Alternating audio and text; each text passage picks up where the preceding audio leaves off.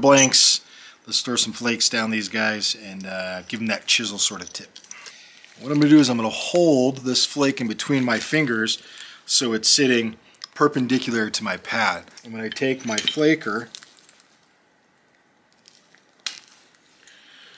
so I just pop that one flake off, create an edge, and I'll come this way.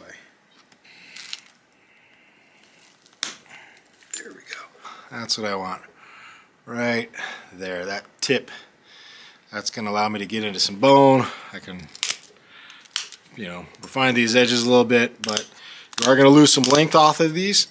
But again, I'm popping flakes laterally at this side, this side. You can pop a flake off one edge. Uh, that's not an issue as long as you have kind of a chisel point. You can alternate each side. It's really up to you.